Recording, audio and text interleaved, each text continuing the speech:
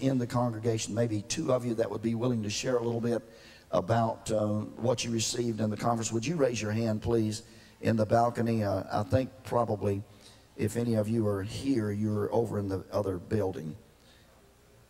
Sir? Okay, if you're in the Family Life Center, and okay, come down from the balcony. There's someone up there. Come on down. Okay, come on up, brother. And the one from the balcony up there, okay? Yeah, we'd like to, um, okay. Pastor said we'd have three or four. Since he's driving the ship, we're going to have three or four. Okay, is there someone over in this area? Come on up, Pastor. Come on up. Okay, come on up, brother. Um, all right, come on. That's three. Pastor said three or four. Someone pointing back there. Okay, where are you? Come on up uh, in the balcony. Come on. Come on down. Okay. Praise God. Let me just say that uh, it's our joy in our pastor's heart for pastors. Many of, uh, many of us don't realize the burden that these guys are under. But let me tell you something. It isn't just pulpit. It isn't just pulpit. This thing weighs on, on these gentlemen 24 hours a day, seven days a week, 365 days of the year. It's an awesome responsibility to be responsible for some of God's people. It's an awesome responsibility. And um, one of the reasons that we want to have these conferences is to, uh, uh, to allow these folks to come here and to just get away from the pressures of the ministry and uh, let us love on them and pour something into their lives. Um, not that we know how to do things. That's not um, why we, we invited you folks here. Um, we, we really, you know, we, we're just fellow pilgrims, but we wanted to, you to come here and just come aside for a little bit and allow us to to love on you and allow our church to love on you and, and just let us pour some of the love of God into your lives. And so I hope that's happened for you and we'd like to for you to share with our congregation and give them some feedback, okay? And uh, so uh, tell us who you are and where you're from, brother. My name is Jürgen Schneider. I come from Germany, a small town near Frankfurt, and uh, I'm pastor of a church that's crying for revival, that we that we feel here, that we like here, that we love here. And we, I, I want to praise the Lord for, for every second that I, I has been here. And I so much blessed by the, by the touching of the Holy Spirit. I so much blessed by, the, by your hospitality from, from everybody, from the love we, we, we met in the Bible school. It, it touched our heart so much and, and we, we pray to the Lord that he will make it possible that we can take it with home, that we, we can, can put it in our church, that the Spirit of the Lord moves through the people, that he touches the hearts of the people, that he renew it, that, that he put away the dust and the smog and all the things who, who, who, let, who let us see what is necessary, what the Lord wants to do for us. And I have one thing on my heart, and I, I want to do it. Let's together bless Israel yes. and pray for the peace in the walls of Jerusalem. God bless all Jewish people in the world. Yes. Amen. Amen.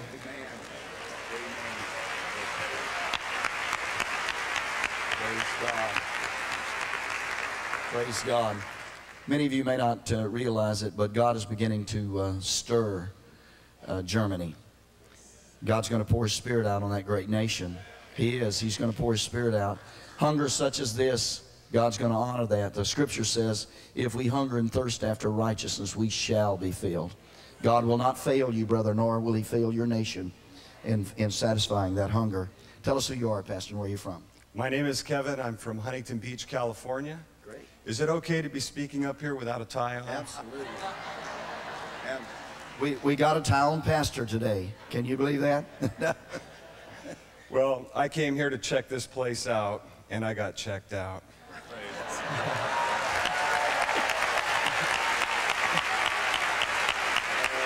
I, I got a checkup from the neck up. And then the Holy Spirit really checked me out. and uh, the Lord has really changed my heart. I think I thought I knew a lot, and now I know that the greatest thing is just to love the Lord. And I repented last night, and I was here all week long, and it took me until Saturday night. God knew how stubborn I'd be. So I want to just thank all of you here for just showing your love and for praying for me a long time ago. And I appreciate it. My son got saved here, by the way, last July, and we're hoping that he gets to come here to the School of Ministry. So.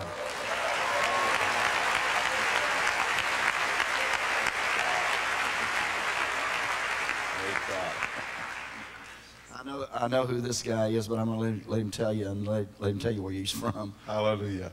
Uh, my name is Dan Bryles, and I'm from Kingman, Arizona.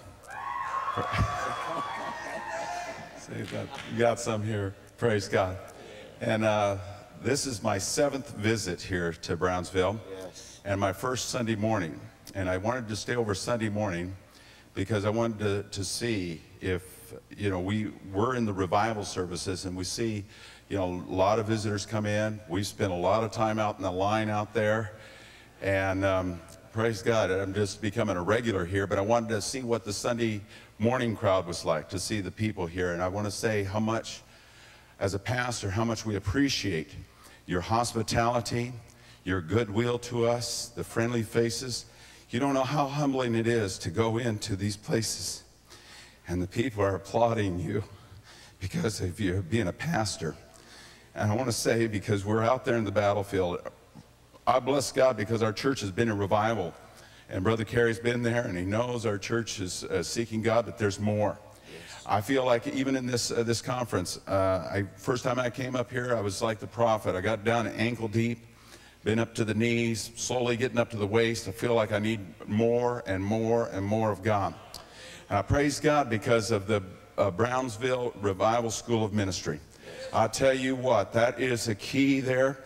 As uh, you heard, our young people that are coming here, they're getting involved, they're hungry. Uh, my, my daughter went to Evangel College, and, and bless her heart, uh, it's a good school. Uh, they love the Lord there, but there's a lot of compromises there. And when I was out there yesterday, uh, the other day when uh, Michael Brown was sharing, they're not allowing compromise. They're going whole hog for God, praise God.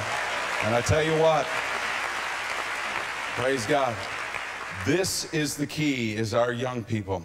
And encourage you pastors to invest in this ministry. I've seen the fruit of it. I've watched it. I came out here expecting. I've been receiving. And I just praise God and I thank you, Pastor, praise Pastor, God. for your hospitality. Praise God. Praise God. Amen.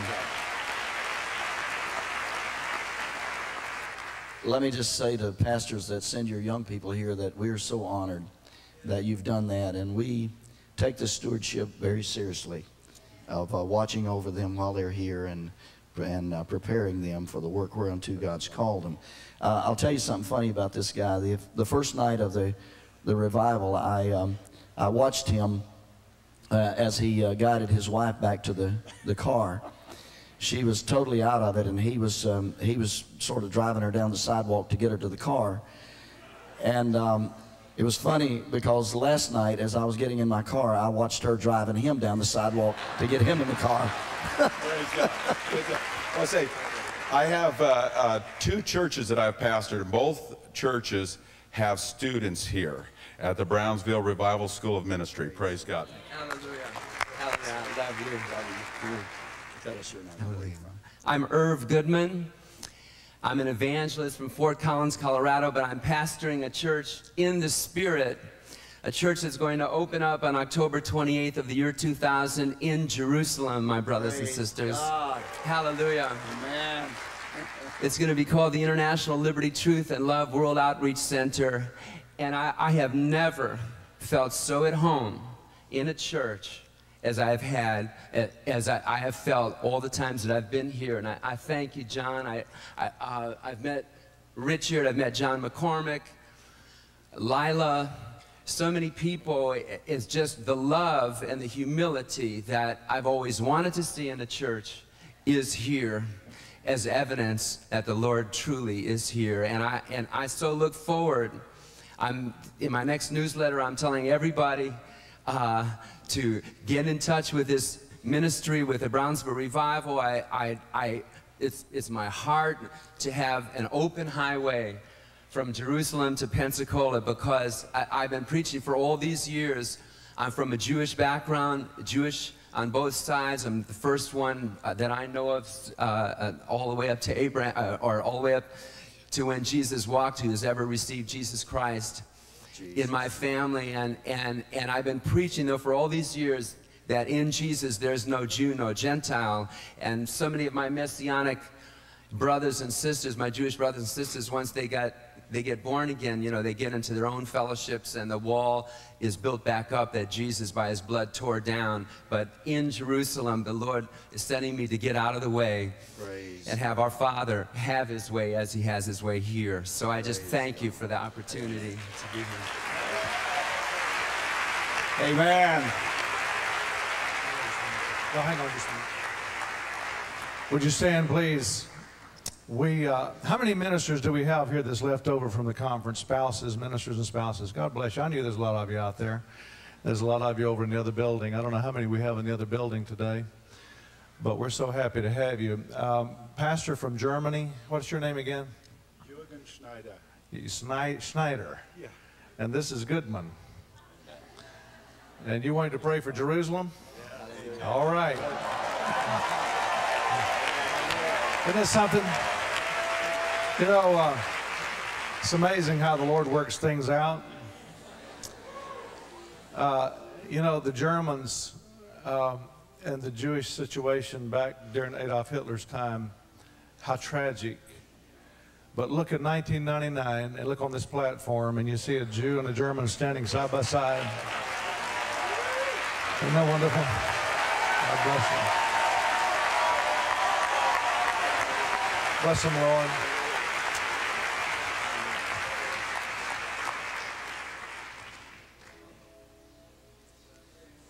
I hope I can explain it to you.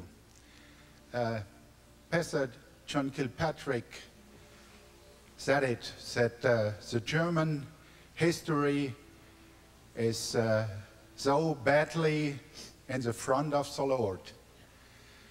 And uh, our church and a few members went in September this year to a town called Oświęcim.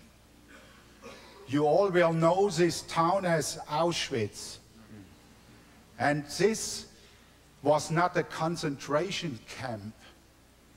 This was a fabric, an exactly planned fabric to kill six million of Jewish people. The German people killed their six, six million of Jewish sisters, brothers, child. And most of them hasn't been killed in the gas camps. They has been killed for sickness, hunger, and hopeless. And I want to pray to the Lord Hallelujah. that he, he gives grace for his own people, that they that say, see, Jesus Christ,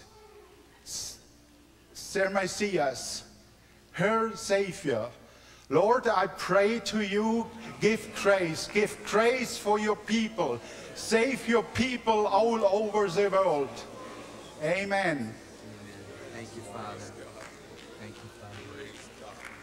Let's, let's, um, by the way, those of you that were not uh, privileged to be here for the conference and you wasn't privileged to hear Mike Brown speak about Israel, man, listen, I want you to get that tape. That is a treasure. Mike Brown spoke in the morning service at this conference, concerning Israel and how it's tied in, the church's love for Israel, how it's tied in with the coming of the Lord. It is, I, I couldn't recommend anything more highly. It's phenomenal. And um, I see God doing such great things. I, I see just, it, it's mind blowing what I'm seeing the Lord doing. And, and to see this right here is so precious. Wow. Let's pray for Israel this morning. How many of you, how many of you will be willing today to bless Israel? Let's bless Israel. Matter of fact, why don't you just raise your hands right now and let's just bless Israel and Jerusalem and the Jewish people, Jews. Lord, in the name of Jesus, we bless, we bless Israel. We bless the Jews, the Orthodox Jews, the unorthodox Jews, the Jews in Jerusalem, the Jews in Israel, the Jews in America, and the Jews all over the world. We bless them. Oh God, let the Spirit of the Lord fall upon Israel and the Jews. Raise them up, oh God. Raise them up. Can these bones live again? Yes, yes, yes, yes. Let the breath from the nostrils of God flow in those bones and raise up Israel, Lord, in our time like a mighty army marching through the land. Let us see the end time sign, Lord. Let us, with our own eyes before your coming, see the end time sign and fulfillment of your word. In Jesus' name we pray. Amen and amen. God bless you. Remain standing for a moment. I want to say today to, to Brownsville how much we um, appreciate all of you that volunteered and helped us in this pastor's conference. Listen, probably one of the most important things you can do uh, for your church and in the kingdom of God all year is to volunteer in the two pastors conferences that we have. We have them in April and we have them in November. And these conferences and your kindness and warmth and generosity, hospitality means more than I can tell you. And these ministers and their spouses that come and they are touched and blessed, sometimes they seem to be more touched by your hospitality and kindness and reception of them than they are by the preaching or anything else that's done in the services. Sometimes that means more to them. And I knew today, whenever some of these preachers came up, I didn't know who was going to come up, but I knew that somebody was going to say, when they came up, that it was this brother here, that he said um, how much he appreciated whenever they walked in over there to be fed in the Family Life Center, how they appreciated being applauded and clapped for. Because preachers are, are used to being blasted, they're used to living under satanic attack, and they're used to gossip and division and slander and all kinds of things like that. Preachers are not really used to people applauding them and loving on them. And so, Brownsville, I bless you this morning. I bless you for the Spirit of the Lord to refresh you and to strengthen you and to return the blessings that you put on these men and women of God to bring it back on your head multiplied seven times. Lord, bless Brownsville. Strengthen them. And Lord, give us more volunteers for the next conference in April. Let people right now begin to mark that on their calendar that they're going to take off and they're going to come and pour themselves in that conference in April and November of next year and let God use them to minister to your chosen ministers in Jesus' name. We love you, Brownsville. And I want to say, too, today, while I'm thinking about it, I, I appreciate, come here a minute, Carrie. I appreciate you so much Carrie Robertson. Amen. Carrie, uh, Carrie, since, um, since revival, go ahead. God bless you.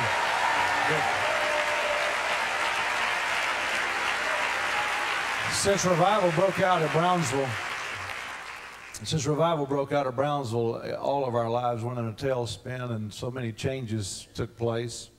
A lot of changes took place in my life and our ministry. And when I needed somebody to come in here and help me with this church and help me run the church and day-to-day business of the church and, and uh, carrying on a function of pastoral duties that I just was not able to do by myself anymore. when I brought in Carrie Robertson. It's one of the best moves I ever made. And uh, God gave us uh, Carrie and Shirley Robertson, and we thank God for them and we love them. And I just wanted to say today publicly how much I appreciate all he does for this church.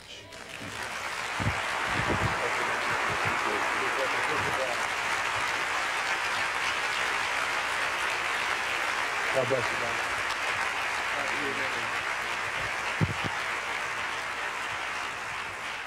Hallelujah. Well, I want you to turn around right now before you're seated, and uh, I want you to look at the person beside you, and I want you to say to them, It's good to have you at Browns.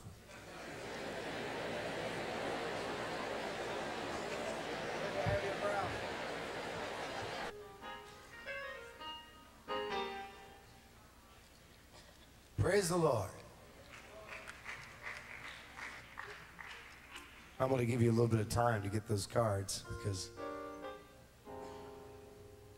when you all have given yours, you can stand up. Yeah, that's good.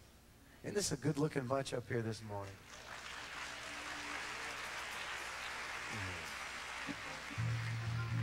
You all would clap a lot more if you knew how hot these robes are on Sunday. These people are faithful.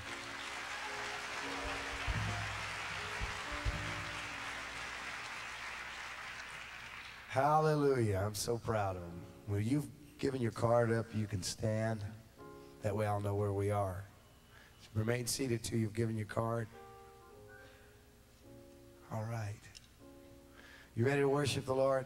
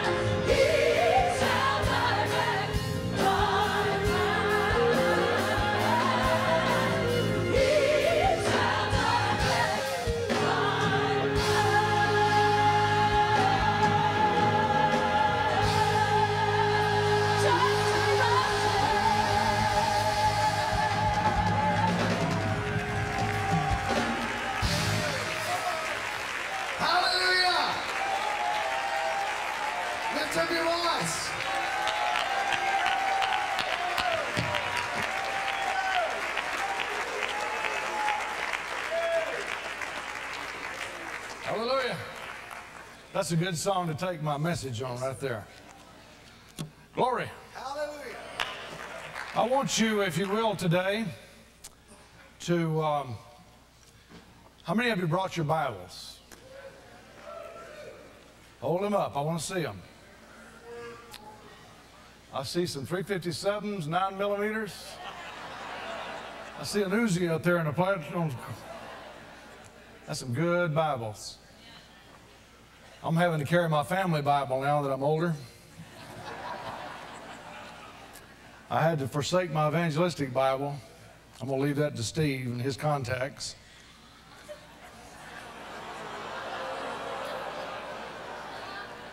I don't wear contacts, I'm a man.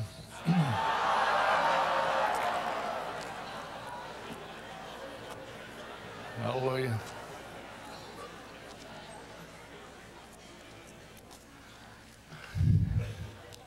He ain't here today.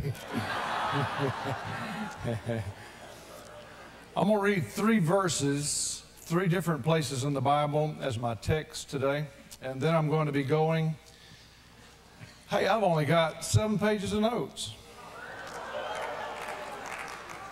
Well, I'll declare. Y'all don't want me to preach long, do you?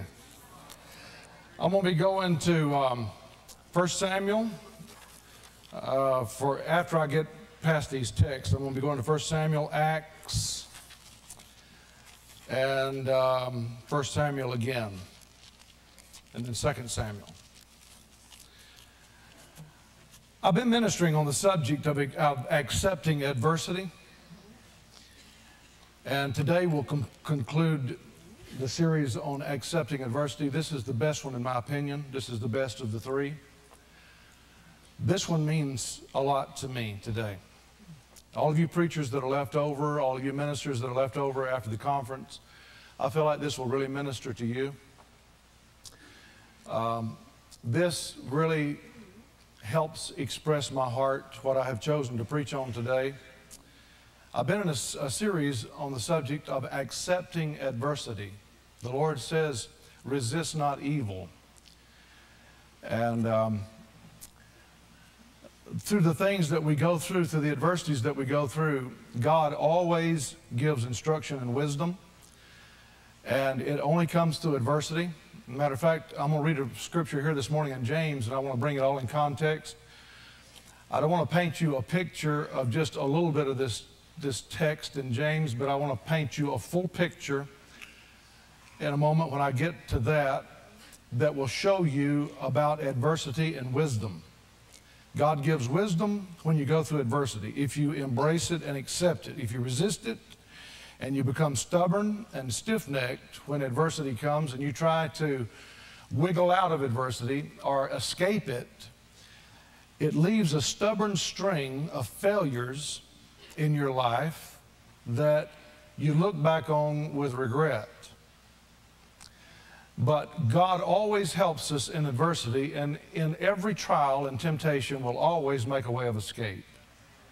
If you embrace it, but if you resist it, uh, it doesn't make any promises about a way of escape because you're trying to do it your own way with your own method, and that's just not God's way. Um, I could say a lot, but I need to get right into my message because I'll say it all there, hopefully. 1 Thessalonians 5 and verse 18. 1 Thessalonians 5 and 18. This is a very familiar passage of Scripture. It says, In everything, give thanks. Why? For it is the will of God in Christ Jesus concerning you. Look at that one more time. Verse 18. In everything. Now, it doesn't say for everything. You don't give thanks necessarily for everything because it's sadistic for us to, you know, um, to want these kind of things and to invite these kind of things. But when they come, the Bible says, whatever situation you find yourself in, in everything, give thanks. Why?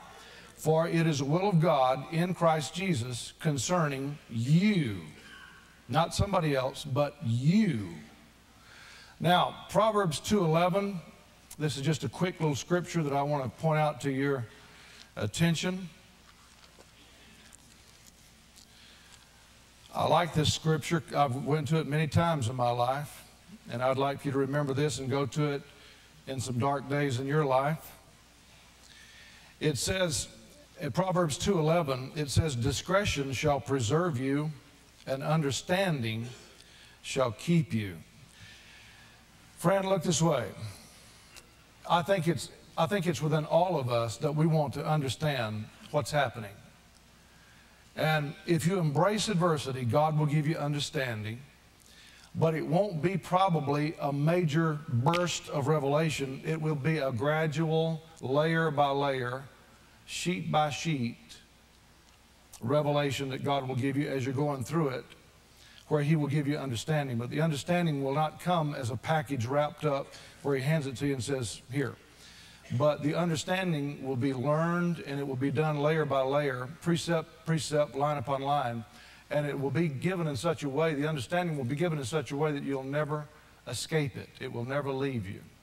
There's things that I have learned only through adversity that I would have learned no other way, but they are an integral part of me and I'll never forget them. But if I'd have got it all at one time, it probably would have escaped me. Now, let's go to James. And um, I want to point this out to you. We're going to look at it in context, James chapter 1. And I'm going to begin reading with verse 2, and we'll go down through verse 5. James chapter 1. We're going to begin with verse 2 and go through verse 5. Now, the Bible says, My brethren, he's talking here to the family of God, the household of faith. He said, My brethren, count it all joy. Say that with me. Count it all joy. What kind of joy? All joy. When you fall into different trials. Now, the word there is temptation, but if you'll go back and look at it, it says, My brethren, count it all joy when you find yourselves in different kinds of trials. Knowing this, that the trying of your faith worketh patience. But, he says, but let patience have her perfect way. Let patience have her perfect work. That you may be perfect and entire, thorough, wanting nothing. Now look at verse 5. This is the one we always quote, but I want to put it in context with verse 2. It says in verse 2, My brethren, household of faith here, count it all joy when you fall into different kinds of trials. Now, why? Because in verse number 5, it says, If you lack wisdom when you're in different kinds of trials, let that person ask of God, and God will give to all men liberally and upbraideth not, and it shall be given him. Let him ask in faith, nothing wavering. For he that wavers is like a wave driven to the sea with the wind and tossed. Let that, let that man not think that he shall receive anything from the Lord. So wisdom is tied in with divers trials and trying of your faith in verse 3, and then the episode that you must go through of letting patience have her perfect way so that you may be entire, thorough, wanting nothing. So wisdom comes by embracing adversity. You may be seated, and uh, I'm going to take my time this morning and get through with this. I want to empty my soul today on this subject. This is going to be the best message of the three, in my opinion, because I feel it in here. I feel this one in here real strong. This message, real strong. How many of you was here for part one when I preached about Shimei? Let me see your hand. When I preached about Shimei and David. I wish I had time to go back and recap a little bit of that, but I don't have time at all to go back and touch on that because I've got too much to, ground to cover. Now, I don't understand why God allows Satan to try us, but it's not for me to understand, it's just for me to, to accept the fact that God does. When God allows you and I to go through adversity, it has a, it has a purpose and that purpose will only be recognized if you accept it and embrace it. But if you don't, what's going to happen if you resist what God has prescribed for you? If you resist it, you can spend your life stiffening your neck and hardening your heart to God's specific sandings, breakings, crushings, And you can get to the point to where after a while you're just a cynical old man, just a, a cynical old woman. You never really learn much. You went through some stuff, you're bitter about them. You hate people. Uh, you're resentful about the being dished out what life dished out to you. The counsel that you give to other people is tainted with cynicism. Um, we hear the world say life is, a, they use a bad word for it, life is blank. That's people that has resisted adversity. That's people that has not gotten wisdom and derived wisdom from what they went through. And I know a lot of people in the ministry and otherwise, even in church pews, that has consistently resisted adversity that God allowed to come their way. And somehow there's something calloused about them, and they're just the type of people that I don't really want to spend a lot of time around. But the ones that has accepted adversity, and God has developed character in them, and their integrity has been fortified. They have something about them, they have a brokenness about them that I want to hear. They have experiences about them that I want to sit at their feet and I want them to tell me the stories and I want to learn what they learned. Now, in the Bible, the Bible says that it is written for our admonition. The scriptures, the Holy Scriptures, are written for our admonition. And I'm going to go this morning, and I'm going to take you to three places. I'm going to take you to two places in the Old Testament, and I'm going to take you to one place in the New Testament. And I want to show you a principle about why sometime hell will fight you right before your greatest victories. Now,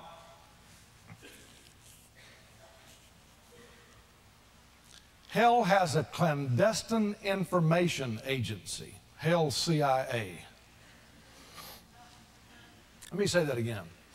Hell has a clandestine information agency where Satan gets his imps and demons and sends them out on assignments to study you, to study me, to study the work of God, to study churches, ministries, pastorates, and they study us.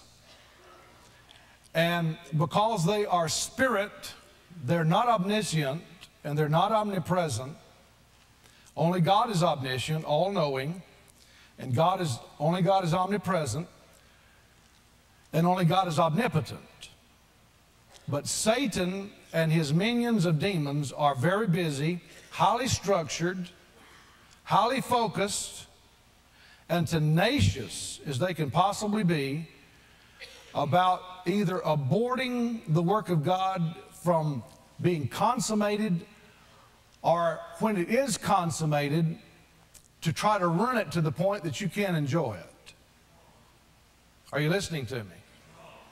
He either wants to abort it and cut it off and ruin it, or if it does happen, he wants to so spoil it that you can't enjoy it. That's his purpose. In the ministry down through the years, I've never been a lazy person. I've always worked. I've always carried a burden on my heart for my churches that I pastored day and night. When I'm at my home, I've always got a, a, phone in my hand, in my pocket, or on my person somewhere. I get a lot of telephone calls. I've always got a cell phone on me no matter where I am. At home, I have an extension phone that I carry with me. I get a lot of calls. I deal with a lot of situations, deal with a lot of trouble, and I deal with a lot of good, pleasant things also. But I have lived for the last 20 years wore out physically wore out. The last five years, it has only been the grace of God that has kept us all going, myself included. But day and night, day and night, day and night, 20, 18, sometime 18, 20 hours a day. And when I get an opportunity to get rest, when I get an opportunity to have peace, and to be by myself and to sit on a riverbank or to sit outside somewhere where I don't have anything pressing on me, maybe for a little while. Hell does everything it can right before I get that time of rest to throw me in a tailspin where when I do have the time of rest, I can't rest. And whenever I do have the opportunity to have a good time with my family, such as Thanksgiving or Christmas, to have a protracted period of time to be with my family my grandchildren, hell does everything it can to throw anything in a tailspin in the church or whatever to get me upset to where when I do have that time, I can't enjoy it. And then when I have to get back in the grind again, he lets up and he starts his other stuff again. And it, I'm not just talking about me, I'm talking all these preachers in here shaking their head. It's them too. And not only is it us preachers, but it's you too. And I want to share something else with you. Listen. Just about the time that God has a blessing that is about to come your way, I don't know how hell does it, but I believe that hell somehow can see it being formed and materializing. and just at the time when the blessing is about to happen and the prophecy is about to be fulfilled in your life that maybe you've held on to for years, just about the time it's to be fulfilled, you will undergo your most severe trial that you've ever undergone. And I've noticed that usually the intensity of the trial is usually proportionate with the intensity of what God is about to do in your life. You listening? So if you're going through a hellish situation and it's coming at you from every angle, it's probably indicative that something really powerful is about to transpire in your life. Now, listen to this. I want to tell you four things. I gave them to you in the beginning. I haven't talked about them in a couple of weeks, but let me just give you four things real quick. Now, listen, don't try to write these down. Just pick up a copy of the tape back there. Satan attacks you with a set of purposes in view. Whenever the devil goes to attack you, he is attacking you with a set of purposes in mind. Number one, he seeks to cause you to become offended with God. When the devil attacks you, when he comes against you and really fights you, lets people talk about you, lets you be slandered, lets sickness come, lets an accident happen, uh, lets friends betray you. Whatever happens, the number one thing the devil's trying to do is to cause you to become offended with God, hurt with God. God, why didn't you save me from this? You could have stopped it. Why didn't you do that, Lord? He wants you to become offended with God. Number two, he seeks to end your fellowship with God by getting you to sin when offense comes. When offense comes, listen to me, everybody. When offense comes your way, when you get offended, that's when you're the most vulnerable to sin. Because when you get offended and hurt with God, see, we want to please God. And when you want to please God and walk close to Him and in fellowship, you don't want to sin. But when you're offended with God, that's when hell broadsides you and says, well, he don't care about you anyway. Why don't you just go ahead and do this? See what I'm saying? Are you listening? I know you are. It makes a lot of sense. Number three, the devil seeks to halt development. When he attacks you, he's seeking to halt development of Christian character in you by tempting you to avoid that adversity or try to escape that adversity because that's the way character is developed in you. So when the devil attacks you, he's trying to get you to sin and fall off to the wayside because through that adversity, it's going to develop integrity in you. It's going to strengthen your integrity and it's going to develop character in you.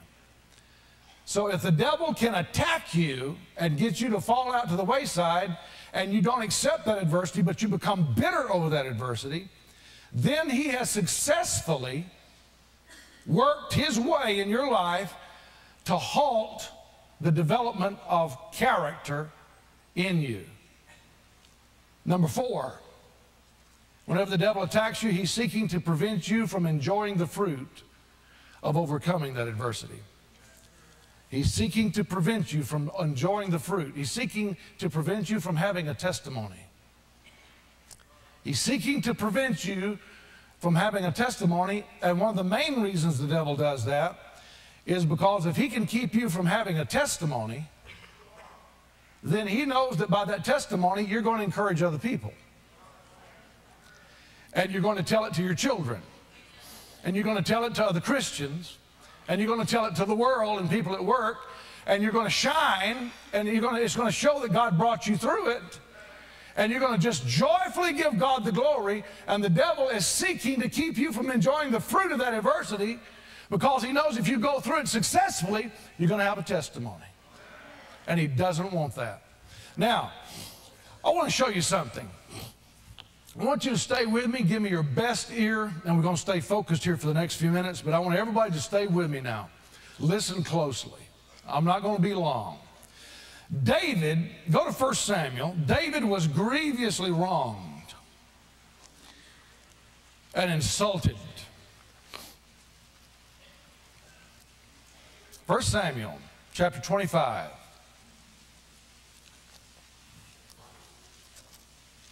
I'd love to hear pages turn.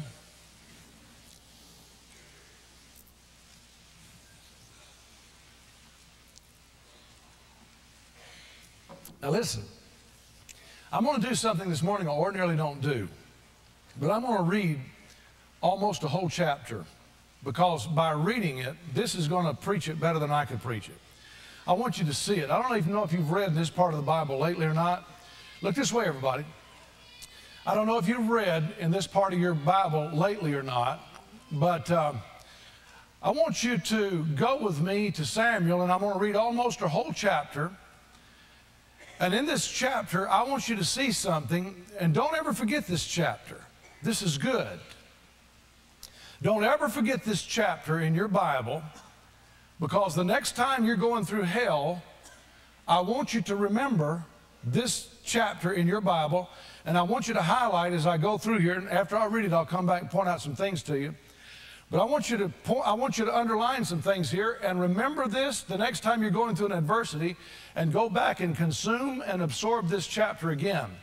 Now I'm going to be here in Samuel for a moment, then I'm going to Acts, and then I'm going to go back to 2 Samuel, and I'm going to show you three places in the Bible where right before the greatest victory came, these people went under some of the most severe attack of the devil. Now, let me ask you a question. Everybody, look this way. How many of you have ever been through severe attack in your life? Let me see. Wow. So you know the devil too, don't you? How many of you God has brought you through that severe attack? That's, that's the victory. How many of you have ever failed in a severe attack of the devil? I mean, hold your hand up. The rest of you's lying. How many of you feel like at times that you've been successful and you've held your peace and come through it good? Okay. Now I'm going to go into Samuel right quick, and um, I want to show you something about Abigail and Nabal. In 1 Samuel 25, we're going to begin reading with verse 2. Now, the Bible says in chapter 25, verse 1, Samuel had just died, and all Israel was lamenting him, and he was buried in his house at Ramah. And David went down to the wilderness at Paran. Now, everybody, look this way just for a minute and listen to these words. David had just buried the prophet of God. Samuel's dead. Samuel's the one that anointed him. Oh my. I could stay right there for a little while. How many of you knows the man of God, the prophet's the one that anointed him? Poured the oil over him, prophesied over him, and told him he's going to be the king of Israel. Remember that? Went to the house of Jesse to find him a king to anoint. You know what I found out? Listen closely. You know what I found out? Many times, God lets us live epoch times. The man of God anointed him, the prophet anointed him, spoke over him, prophesied over him, but now the man of God's dead. I have noticed at times whenever God gives us an epic word, a, sh- uh, a earth shaking word, that sometimes that word will last for a long time without being fulfilled. But many times in the fulfillment of that word, there will come a series of things happening that will lead up to the fulfillment of that word. And sometimes it's the death or the division or the falling away of the one that gave you that word. And here's Samuel.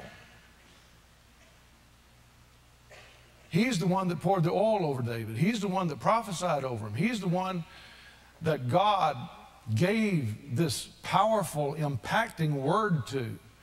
Found that little ruddy faced boy, shepherd. Samuel poured that oil over that boy, talked to him, blessed him, prophesied over him. And David began to excel and do great things, but then he began to be chased by Saul. Well, now Samuel's dead. That's strange. Samuel's died. People's lamenting him, and the Bible says David went down. He went down to the wilderness of Paran. Now I'm going to begin with verse 2. Look at this. It says, There was a man in Maon whose possessions were in Carmel. Now, Carmel is a place where David had authority. There was a man in Maon whose possessions were in Carmel, and the man was very great, and he had 3,000 sheep, and he had a 1,000 goats, and he was shearing his sheep in Carmel.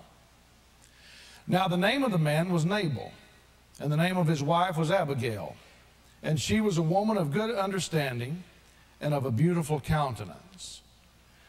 But her husband, Nabal, was churlish and evil in his doings. And he was of the house of Caleb.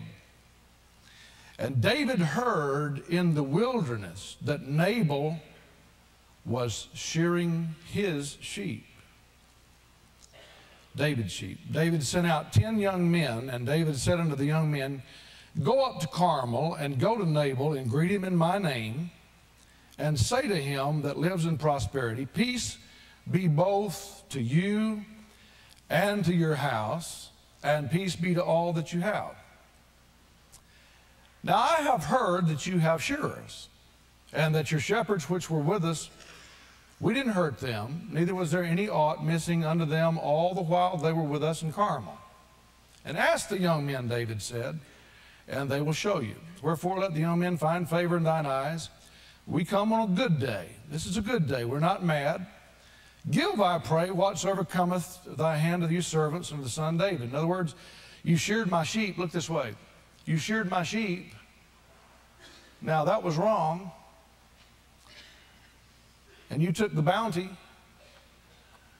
I want my money for you taking and stealing and shearing my sheep. You got the wool. So David said to these young men, Now, when you approach them, it's a good day. Tell them it's a good day, and we're not here in, in anger and bitterness, but we want our money. The man of God wants his money. so, where am I at? What verse? And when David's young men came, they spake to Nabal according to all the words in the name of David, and then they ceased. And Nabal answered David's servants. Nabal, now the Bible says the evil man. Listen to what he says.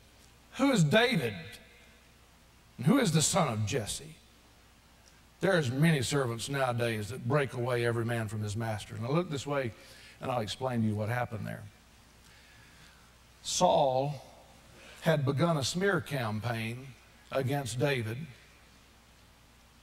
Saul had gone on a campaign to absolutely ruin David's name because when those women, you know, blessed David and all that, and, and David was beginning to get acclaim and favor, well, David was, uh, Saul was trying to ruin his name, and so he's saying, Who's this David? Yeah, I heard he broke away from Saul. I heard he broke away. See, Saul put that propaganda out. He said, Yeah, I heard David broke away from Saul. Let me tell you one thing David ain't getting nothing from me. Any man that's disloyal to his king, I don't care who he is, he ain't getting nothing from me, and I'll shear his sheep anytime I jolly well please. And so Verse 9 says, When David's young men came, they spake to Nabal. And Nabal answered in verse 10 and said, Who is David? Who is the son of Jesse? That there be many servants nowadays that break away every man from his master.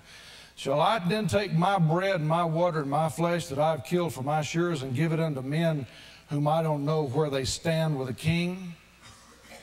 So David's young men turned their way, and they came again and told all those sayings. I imagine they did.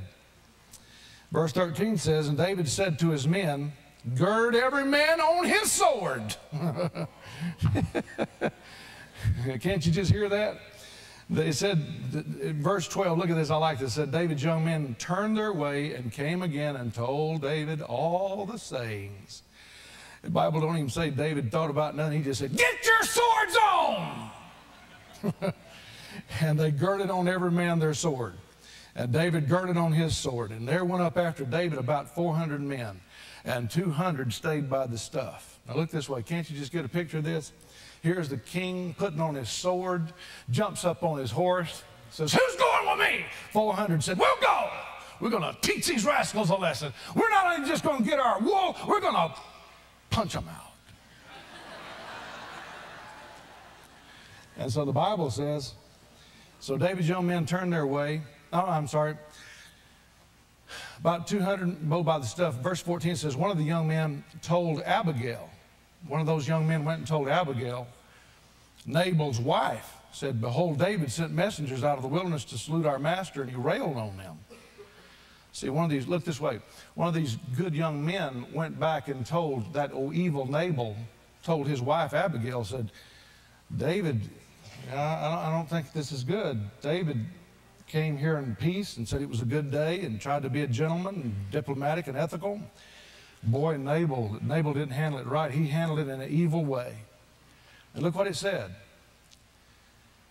It said in verse 15, the men were very good to us. We were not hurt, didn't miss anything as long as we were conversant with them when we were in the fields. And they were a wall to us day and night while we were there with them keeping the sheep. Now therefore know and consider what you'll do, for evil is determined against our master and against all of his household, for he is such a son of Belial that a man cannot speak to him. Then Abigail, look at this. Abigail made haste and took 200 loaves and two bottles of wine and five sheep ready dressed and five measures of parched corn and a hundred clusters of raisins and 200 cakes of figs and laid them on the donkeys. And she said to her servants, Go on before me, and behold, I'll come after you. But she didn't tell her husband Nabal. And so it was so, as she rode on the donkey, that she came down by the covert of the hill. And behold, David and his men came down against her, and she met them. David had said, Surely in vain have I kept all this that this fellow hath in the wilderness, so that nothing was missed of all that pertained unto him, and he's requited me evil for good. Now jump over verse 22 and look at verse 23.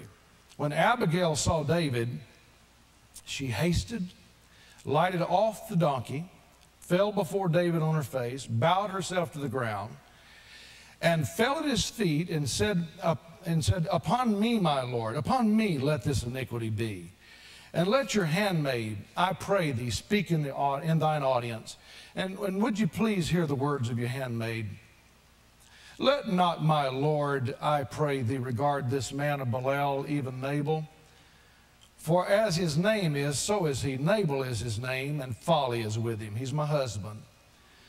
But I, your handmaid, saw not the young men of my Lord whom you sent, and therefore my Lord, as the Lord liveth, and as thy soul liveth, seeing that the Lord is withholden thee from coming to shed blood and from avenging thyself with your own hand. Now let your enemies and they that seek evil to my Lord be as Nabal.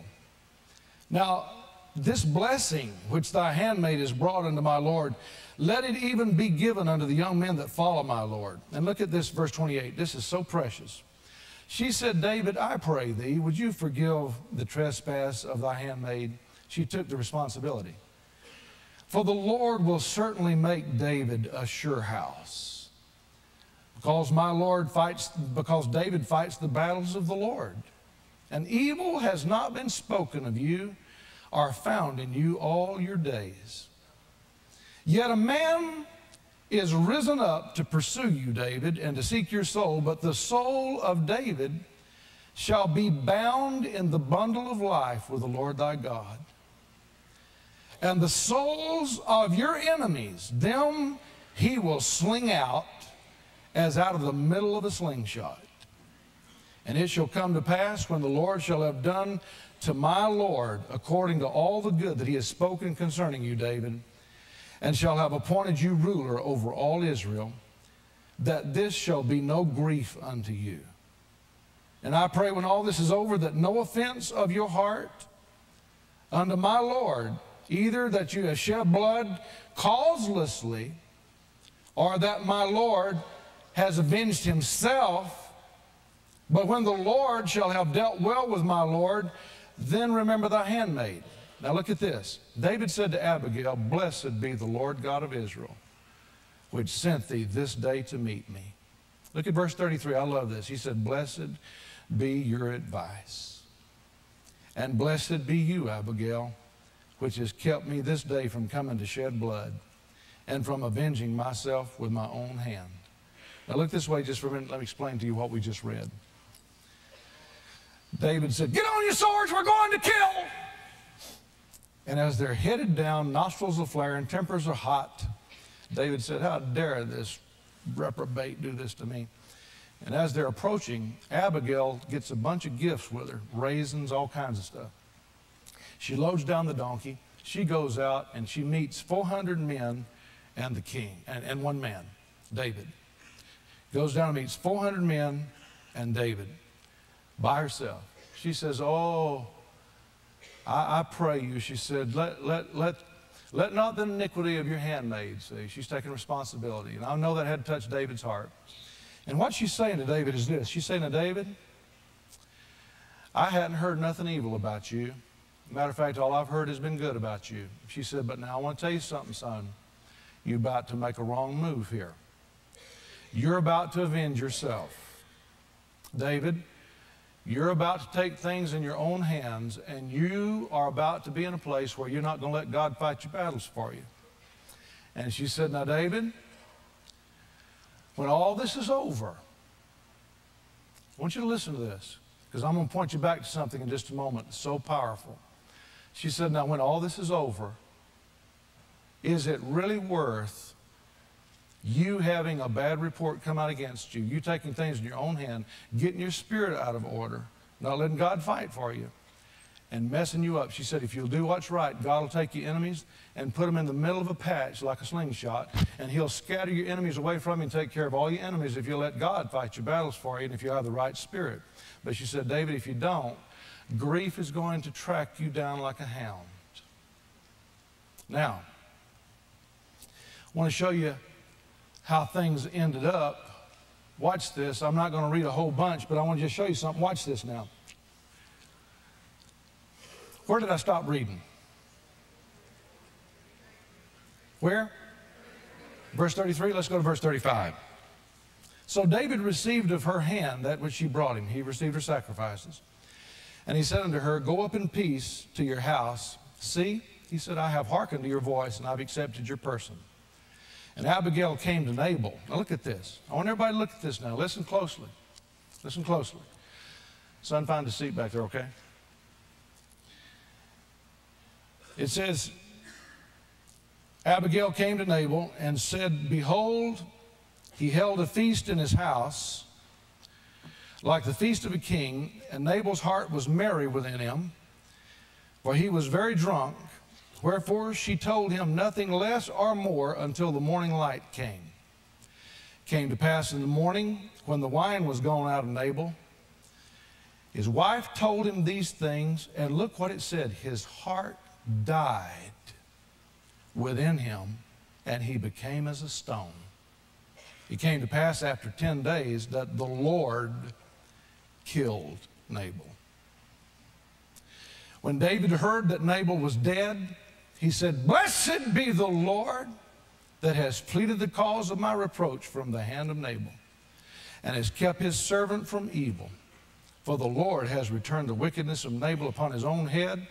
And David communed with Abigail and wanted to take her to be his wife. He liked her. He liked that offering she gave him, and he liked her sweet spirit. So old, the old bad boy is dead, and so David said, I think I like you. and so verse 40 says, When the servants of David were come to Abigail to Carmel, they said unto her, David has sent us to you to take you to be his wife.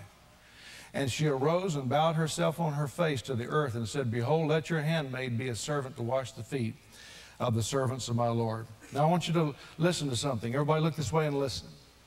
We'll go back to the Bible in just a moment, but I want you to listen to something.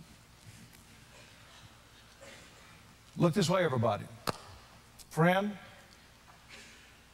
right before, right before a victory in your life, hell will always put pressure on you to blow it. Now, let me give you a clear picture of what I've just read to you. Satan tried to get David to resist adversity, to take his sword and some soldiers and to settle this dispute the wrong way. So David was headed straight for spiritual failure. God raised up Abigail and used her as a female to go out and talk to that masculine, mad heart. She came out and he played right into her hands, and David listened to her.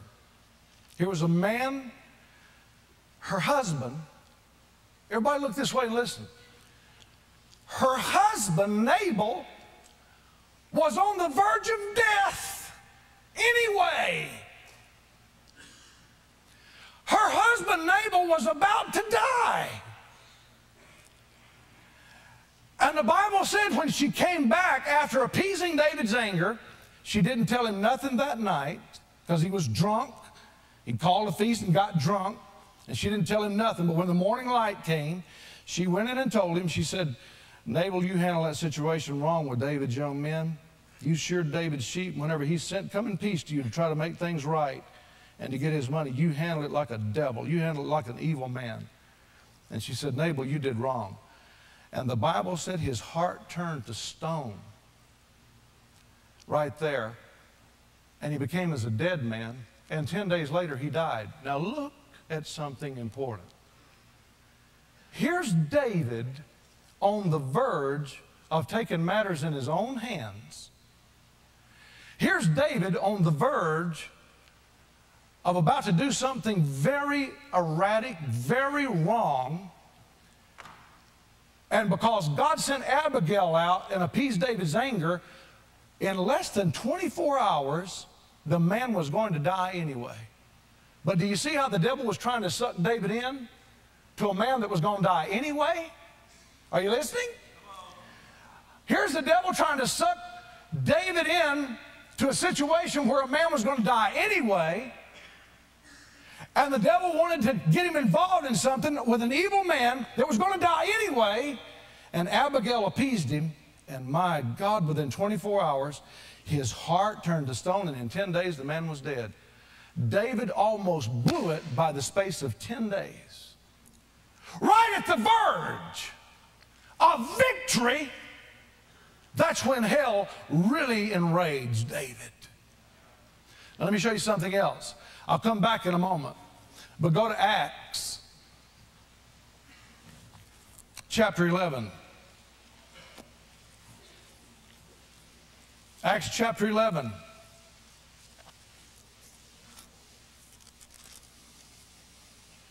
I sense so strong in my heart. Woo I sense this so strong in my heart. Those of you listening to me in the other buildings, listen closely. Give me your best ear. Those of you listening by television and those of you listening by tape, listen to this preacher. I can tell you by experience. I told these preachers uh, the other night when I spoke to the ministers at the pastor's conference, I told them I almost missed the angels. If I could have caught a bus, I'd have went home that night because I was hurting so bad.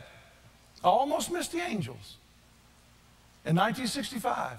And on revival on Father's Day, I almost missed the Father's Day outpouring in my own church because I was still heavy about my mother's death and I was going through a lot of hell where the devil was attacking me and it felt like he just stuck a, pry, a crowbar in me and was trying to pry me out of here. I almost missed the revival.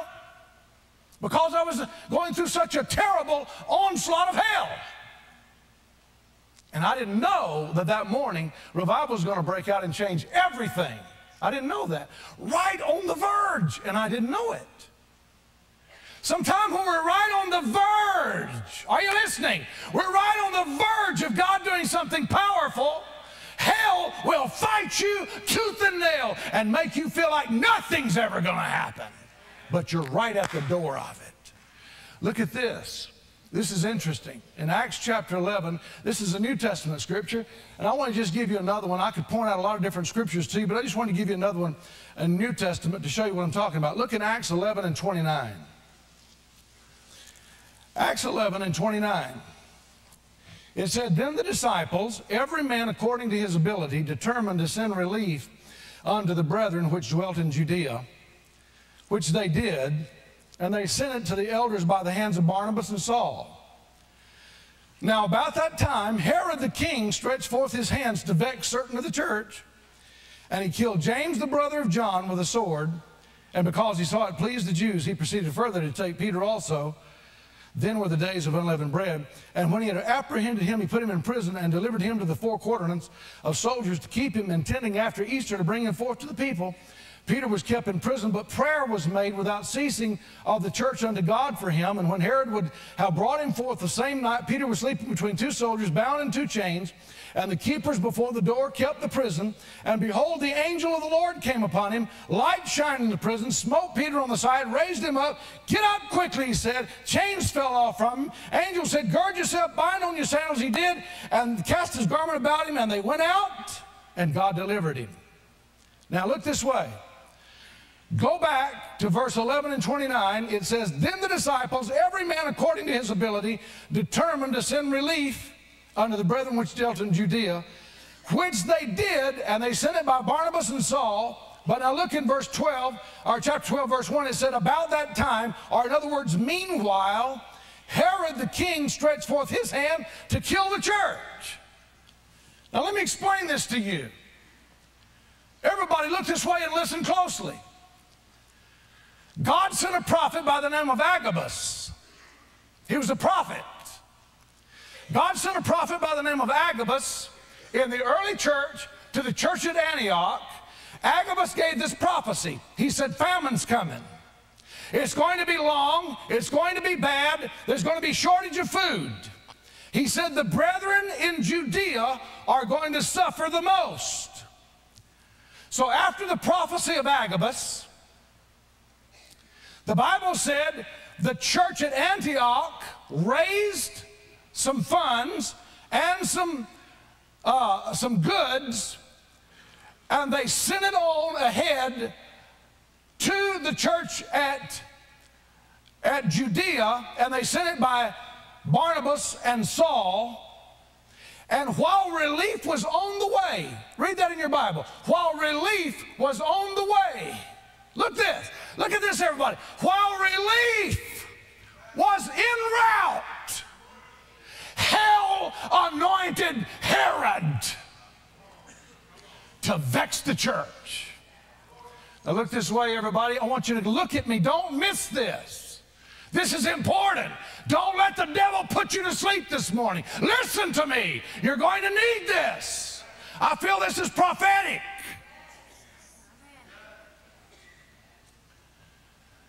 He said, while relief was on the way at the hands of Barnabas and Saul, and they were carrying the money and the goods to the church at Judea because Agabus prophesied famine and droughts coming. While the relief was en route, I want to tell you this morning there's some things that God has for you that's en route. I said there's some things God for you that is en route. Relief, relief is on the way. The Bible said while the relief was on the way, God, let us see. The Bible says it's written for our instruction. We have insight here into the devil's strategy. Hell and Satan himself anointed Herod. And Herod rose up and arrested James and killed him. You know why I believe he arrested him? Because I don't know how much the church was praying right then, because evidently the church wasn't praying right then. They was caught up in the miracles and the signs and the wonders, and they quit praying for a while. Because the Bible does say when they arrested Peter, the church started praying. All of a sudden, he nabbed James and killed him. While relief was on the way, the devil anointed Herod to go ahead and just try to intimidate the living daylights out of them. So when the relief did come, it wouldn't mean nothing. God's got blessings on the way to you, and the devil knows they're going to be such a great blessing to you. But the devil is trying to spoil those blessings before you ever get your hands on them. And it's almost like after you get your hands on them, it's secondary because hell has just blasted you so hard. It's like, oh, here's the relief. I hate the devil. I hate the devil. I don't use that word. My mom always taught me, don't you say, son, you ever hate anybody. Well, mama, I hate the devil. Amen. I hate him. Here's God's got some good things on the way to us, friend. God's got blessings, and the devil sees those blessings forming. Satan saw that relief on the way to the saints in Judea. He was trying to make everybody suffer, especially the church. But now here all of a sudden comes money, and here all of a sudden comes food. And hell hated it. And so the devil anointed Herod, and Herod rose up and began to persecute. I want to warn you of something. Whenever persecution begins to break out, it's a sure sign that relief is on the way.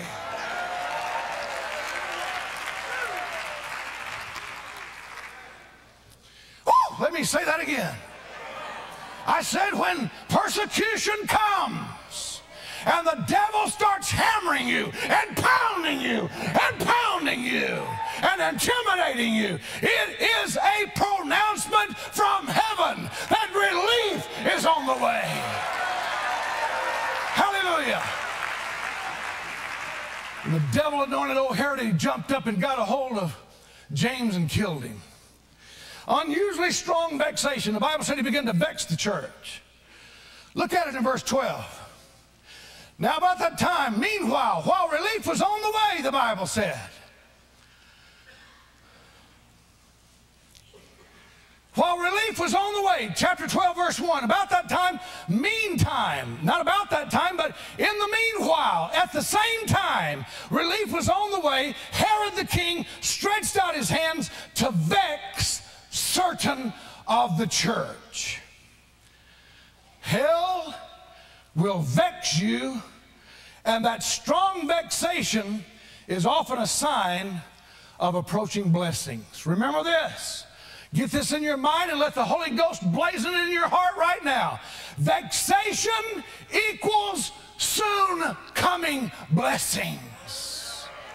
Vexation equals relief is on the way. How many of you remember Daniel in the Bible? Bible said when Daniel was praying down by the river, he wasn't eating any pleasant meat, 21 day fast, seeking God, calling on God. Bible says God had the answer on the way to him. But all of a sudden, while Daniel began to pray, 21 days elapsed. Michael broke forth from a major battle, turned the rest of the battle over to some other angels. Michael is the warring archangel for Israel. Michael broke free, came to David down by the river and said, David, whew, thank God you kept praying, boy, because your prayers kept us fighting. And I broke free just long enough to tell you, keep on praying, son, because relief is on the way. And you're praying, and hell, seeing the relief that was on the way, caused the prince of Persia to get all riled up. And we've been fighting him, but you go back to doing what you was doing. I'll go back to doing what I was doing. And hang on, relief is on the way. Oh, church of God, listen to me. I tell you, the blessings and relief is right at your door. The devil may be telling you, you'll never do it. You'll never make it. You're not going to win. The church won't do anything. Your ministry won't do anything. It's never going to happen. He is a bald faced liar. He is a liar. A mission of mercy by Saul and Barnabas, and then Herod's vicious attack. And they both occurred simultaneously. What happened in the Old Testament? David going to kill a man that was going to die anyway the next day. Think about it. He's all riled up. I believe hell knew Nabal was going to die the next day. Evidently went to coma or something. Didn't die until 10 days later. But hell stirred David up. Go get him, boy. Go get him. Go get him. And if David would have obeyed that voice, that command, that, that push, if David would have obeyed that, he would have aborted his blessing. And Abigail came to him with all these gifts, and she said, Oh, king, it's not worth it. And man, the next day, whew, it was over anyway. Let me give you one more and I close. I want to show you something about David at Ziklag, and I close after this one. 1 Samuel, chapter 30. Ooh, I feel the Lord. Man, I feel the Lord so strong this morning. I don't know who it's for, but I can tell you it's for somebody.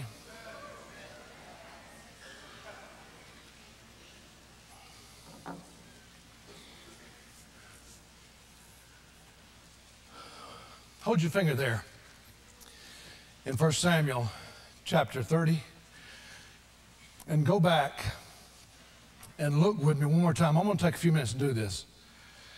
Go back to chapter 12 of Acts. I want to show you a powerful truth. Just hold your finger there in chapter 30 of 1 Samuel. But go back to Acts chapter 12.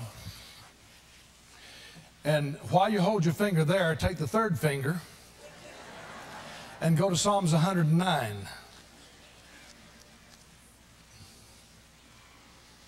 Psalms 109. I want to show you a powerful truth. This is an eye opener, friend. Powerful truth. And I don't want you to ever forget it. Acts chapter 12. Now look this way, everybody. What happened now? The Bible said Agabus prophesied, famine's coming. Saul and Barnabas heads out with relief to the church at Judea. While they're headed that way, relief is on the way. Devil anoints Herod. He reaches out, starts persecuting and vexing the church.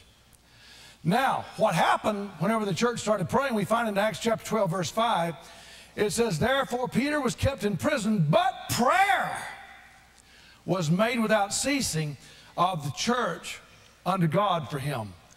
Look this way, everybody. Listen to this statement. When you're going through hell, the devil tries to fix it to where the last thing you want to do is pray.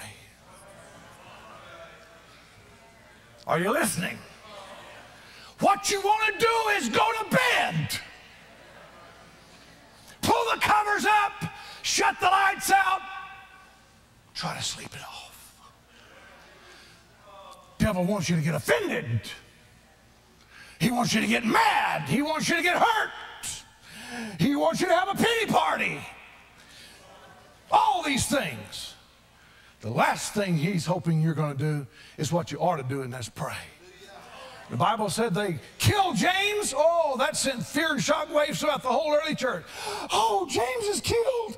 Oh my God. Now they've got Peter. Oh. And so the Bible says that they didn't go into depression.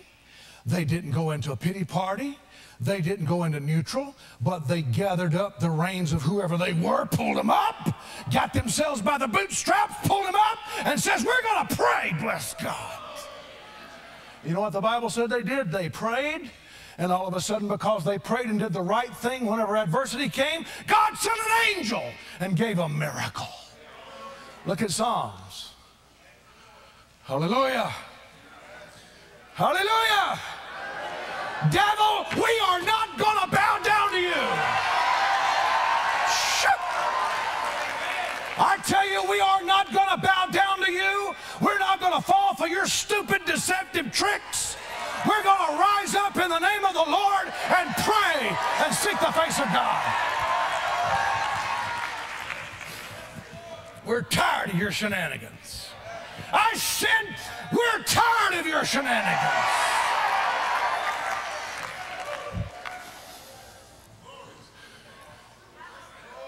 Shoot.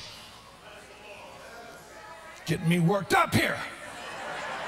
Get your sword on, folks. Mad as fire. Psalms 109, verse 1. This is David now. Look this way just a minute before we read this. Let me tell you about him. Y'all remember a while ago, Abigail came to him, had on that sword, and said, I'm going to take care of business. Now he's older, he's wiser. Why don't you look what he says in verse 1 Hold not thy peace, O God of my praise. For the mouth of the wicked and the mouth of the deceitful are opened against me, and they've spoken against me with a lying tongue. They compassed me about also the words of hatred and fought against me without a cause. For my love, they are my adversaries. But I give myself unto prayer. You know what the devil's doing to churches all over this nation? He's working them up into a lather. He's working them up, persecuting them, afflicting them, attacking them, and they're falling for it. They're getting hurt. They're getting offended. Revival tries to break out in the church here. Revival tries to break out in the church there. People get all worked up. People start leaving the church, start attacking the preacher. Preacher starts attacking the church, and the devil said, Ha ha ha, no revival here. But David said, I will give myself to prayer. I'm going to voice my words in my prayer closet, not against my brother.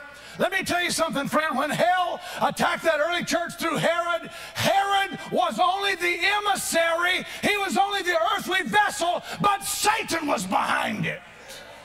And I want to tell you something else. Whenever you begin to go after God, there's going to be people that hell will anoint and use to come against you, but the devil is behind all of it. He's behind it. Satan is behind their words. Satan is behind their eyes. And don't fight the person. Because after the attack's over, the person won't even hardly know what the devil did through them. And here you've got an enemy. Go right after the devil. David said, when all these things are happening against me, he said, I'm not going to roll over and play dead. I'm not going to get depressed. And I'm not going to react because Abigail came to me. I'm going to give myself to prayer. Oh, friend, hear me. When you are vexed, when you are vexed, when you're under attack, the last thing that you feel like you can muster inner energy to do is to pray. I've been so vexed before. I've been under such attack before. It was almost all I could do to get my voice above a whisper and say, Jesus. Friend, I want to ask you, what else are you going to do? There is no help in any other. Let your Job's comforters come to you. It's only going to make matters worse. I don't want no Job's comforters. Whenever you're under attack, one of the last things you want to do, you want to do everything else but give yourself to prayer.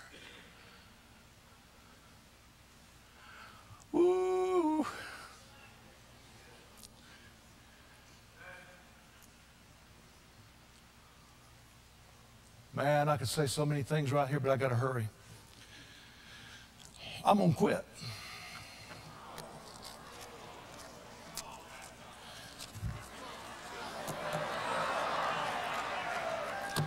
I've been going an hour. Been going an hour. I better quit. I'll preach one more part. How's that? Preach one more part. Hallelujah. I want you to stand with me this morning. Just want you to lift your hands and begin to worship God for 30 seconds. Don't ask Him for a thing, just tell Him you love Him. Lift your voice and begin to praise Him. Jesus, we love you. Father, we worship you. Oh, hallelujah. Jesus. Come on, praise Him. Praise Him. Come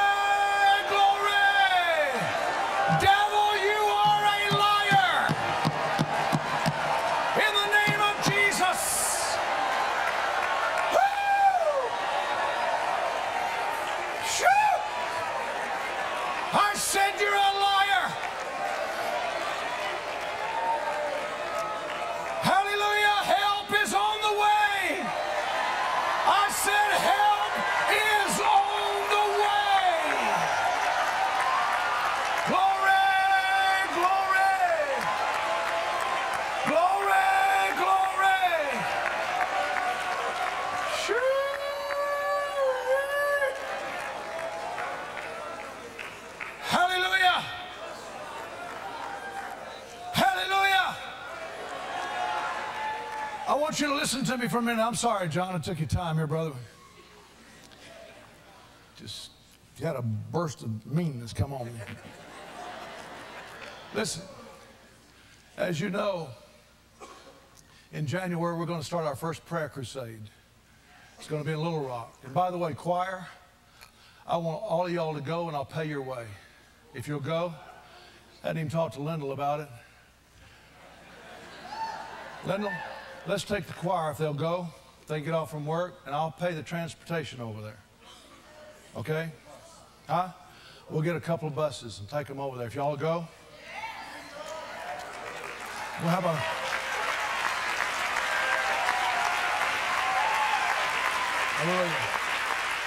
We'll pay. We're going to have our first prayer crusade, but I want everybody to mark something in your book. Hear me.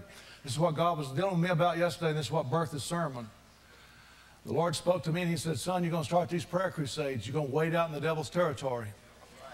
He said, While relief is on the way to those cities, in the form of you and Lindell going, taking that choir, and hundreds of Brownsville people that will go with us. I want you to go with us. If you can go, I want you to go with us. I need all the intercessors I can get. Nothing would thrill me more for you to make up a third or a fourth or a half of those prayer meetings wherever we're going in these different states. I want you to go with me. This is not a John Kilpatrick thing. This is not a Partners in Revival thing. This is a Brownsville thing. And I'm going to be responsible for it financially. And God's going to have to help us, and He will help us, and He'll bless us. But I want you to go, and I want the choir to go. We prayed, all of us, we prayed before God sent revival to Brownsville. And now the Lord's speaking to my heart. It's a fresh word. It's burning. I can't hardly sleep. I can't hardly be still. These, these, these things are burning so in my spirit about going to cities in prayer crusades. God is going to do something. He's going to turn cities upside down. I feel it! Woo! Woo! I said, I feel it. I feel that God's going to turn cities upside down. But, listen, but don't lose sight of the fact while relief is on the way in the form of you in a bus traveling over there and me on the way over there, Lindell on the way over there, and you on the way over there. Don't lose sight of the fact that there's going to be a Herod somewhere that the devil's going to try to anoint to intimidate us and to break our spirit. But I have made up my mind. Listen, listen. I have made up my mind that the devil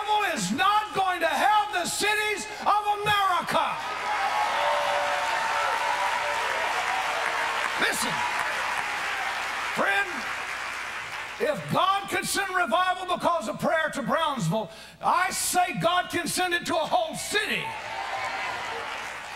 Pensacola included. The Lord spoke into my heart and He said, Son, leave Pensacola to those that I'm raising up. I will take Pensacola through those that I'm raising up here. But he said, I've laid my hand on you to leave out of Pensacola and to go take it to the cities. And he said, I'll anoint you there. But I've raised up other men, and I, have got some men in, in, in mind who God's raising up to do it. And some of them's not even assemblies of God. Oh, blow me away. God's raising them up. They got a vision, they got a passion, they got a burden already. But God, if He can take a church, He can take a city. If He can take a city, He can take the nation. Woo! Hallelujah. Listen. Listen. Some of you, the devil's going to come on you strong. And the devil's going to say to you, why don't you start criticizing Pastor Kilpatrick? He ought to be staying here at Brownsville. He ought not to be going out gallivanting all over the country. He ought to be here every single service. He ought to be here on Wednesday night. He ought to be here on Thursday night, Friday night, Saturday night, Sunday night. We're to work all day long. That's what he ought to be doing. And the devil's going to tempt some of you to really start blasting me and criticizing me and finding fault and saying, he don't need to be out there doing all this stuff. Well, I tell you, friend, it's not a matter of what I want to do or what you want me to do. It's what God's calling me to do.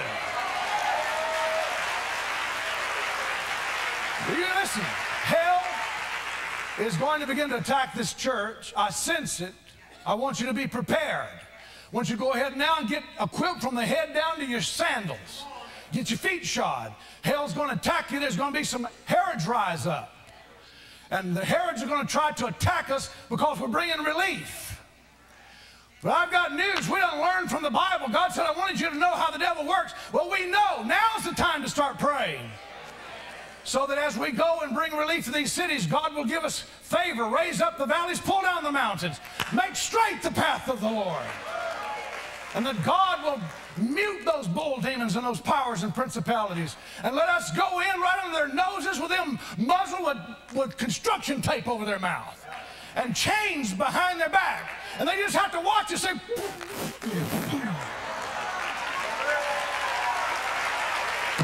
Now's the time. I said,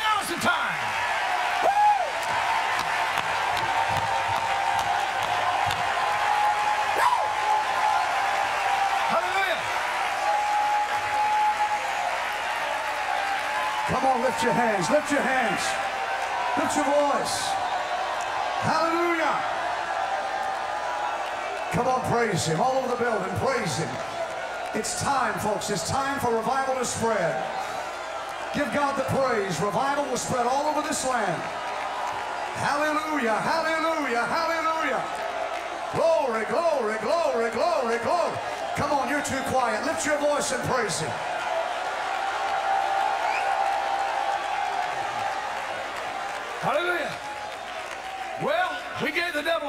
Eye this morning. A hundred thousand didn't come in, but a hundred and twelve thousand came in. Can you say glory? Hallelujah. Glory, glory, glory.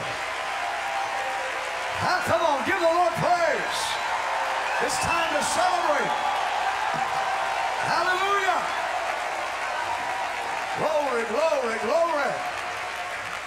Hallelujah. Jesus.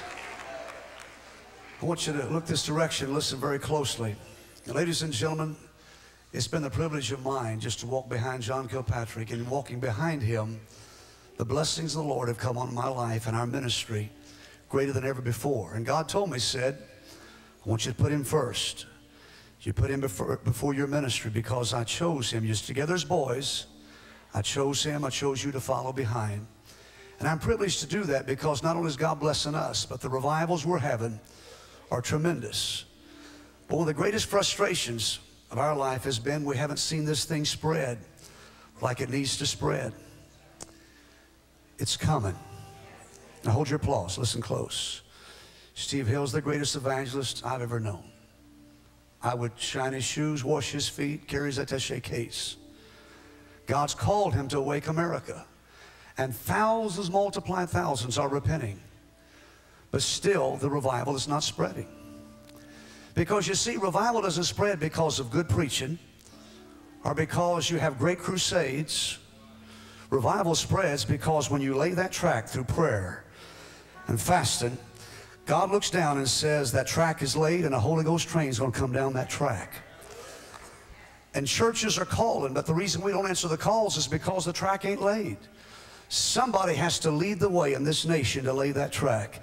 And God has chosen our pastor, John Kilpatrick, and this church, this church to stand behind him and say, revival came to Brownsville not because of Lindell Cooley's ability, John Kilpatrick's ability, Steve Hill's preaching. Revival came to this church because there's a group of people that made up their mind. We're going to press through and hone in on heaven and touch God and bind the powers of darkness. And we're going to pray till the bottom drops out of heaven. And devil, you can't stop us in the name of Jesus. It's still not by might nor by power, but by my spirit, saith the Lord. That's why revival's here. There's something in this atmosphere I sense nowhere else. And I'm out there all the time. I'm flying tomorrow, South Carolina. Something in this atmosphere. What is it? that makes you want to crawl on your face and fall and repent. Whether it's Steve Hill preaching or a five-year-old preaching. And I'm not minimizing Steve's ability. Whether it's Lindell's worship or Mike's worship or the choir or whoever. It's not about man. This revival is about Jesus Christ and the body of Christ. No denomination will lay claim to it. It's going to leap across denominational barriers. Smoke clears, dust settles. You're going to see the body of Christ united as one man with one voice. And we're going to be revived. It's going to be a glorious church. And while we're shouting the praises of God, the trumpet's going to sound, and Jesus is coming back for a glorious church. Get ready, folks. It's going to happen. I'm going to ask you two things. Number one, I want you to pray for John Kilpatrick like you've never prayed before. Hold him up in prayer. Don't even entertain any criticism, any negative talk by anybody. I know that's not here, but I know the devil knows relief is on the way, and so he will try to vex the church. Make up our, in fact, throw your hands up right now. I want you to cover our pastor and his wife. I want you to cover them right now with a canopy of prayer. Jesus. Jesus, encapsulate John and Brenda Kilpatrick in a bubble of your grace. Father, we stand behind them. We walk with them.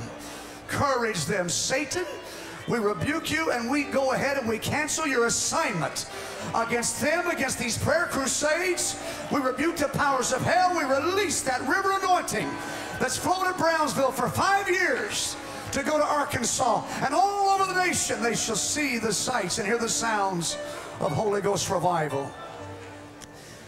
In the name of Jesus, what we've just done, do every day, every day. Students, Brownsville people, listen. This is how the revival is going to spread through prayer. Lila shook her head a few moments ago when I talked about the spreading of this revival. I could stay busy the rest of my life just going out telling the story of this revival. But God don't just want to tell the story of this revival. For God to do what needs to be done in America, He has to raise up Brownsvilles all over this nation. How many knows it's going to happen before Jesus comes? It's going to happen. The second thing I'm doing before chaplain comes, Pastor talked about it. By the way, it goes without saying, but this is a masterpiece. The best message I ever heard him preach because he preached it from his heart, it came from his soul. God had me here today.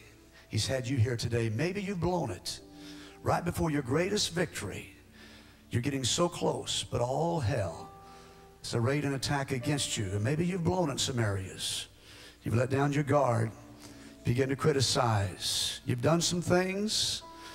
I remember I called Steve Hill when I was teaching at a school in Fort Worth on giving an altar call. I said, Steve, give me some pointers. He said, John, never assume. Tell the people, number one, never assume. Never assume just because Brother Fred shouted all over the church last Sunday that he's ready for heaven this Sunday. Saturday night, he could have been watching pornography all night, falling into a trap of Satan. And so the thing I love about this great revival, every service, we give you the opportunity to get all the junk out, to come clean and clear with God. The blood of Jesus will never cover what you don't uncover. You say I'm a Christian, you say I'm an assembly of God. God don't see those titles. He sees hearts. How many knows God just sees hearts? So all he sees today is hearts. He don't see the name over a door when he walks in. Get ready, folks. The revival that's spreading out of here will go into all kinds of churches because he sees hearts. And I want you to humble your heart right now in the presence of God. I don't even want you to close your eyes. I want you to hold your head high. And I'm asking for judgment day honesty.